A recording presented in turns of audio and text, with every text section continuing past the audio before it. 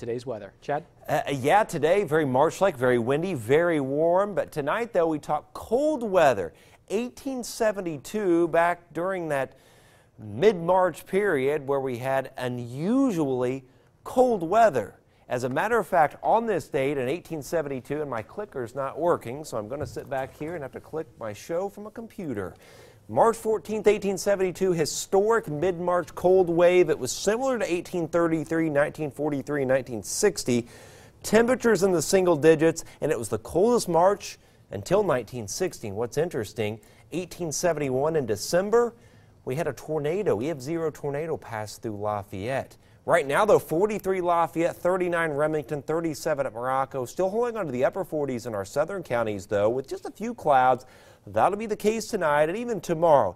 Just a few clouds around and temperatures back to 50, but tonight upper 20s to low 30s area wide. Tomorrow there's the 50 Lafayette, the 52 Attica. Notice in the south warmer with 60 at Kingman, but colder in the north with four, uh, 43 at Winamac.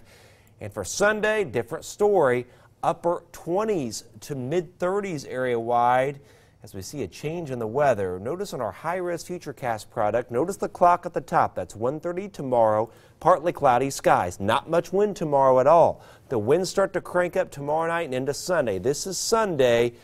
By afternoon and evening, we have a clipper diving in from the northwest, and then it kind of merges with the system coming up from the south. And notice all the snow south of our area. Here, just a few flurries and a few snow showers Sunday afternoon, Sunday evening. The main accumulating snows, notice where they are. Southern Indiana, far southern Indiana to the mid-Atlantic. We're actually towards D.C., Charleston, West Virginia, maybe Evansville, Indiana. Significant snowfall possible. But here, scattered snow showers, a few flurries. Sunday and Monday with highs in the 30s, 53 Tuesday, 61 Wednesday, colder Thursday, a lot of wind next week, but back to 66 Friday.